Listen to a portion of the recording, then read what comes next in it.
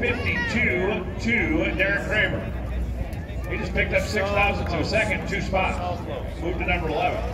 Tucker was 654. That's not an improvement.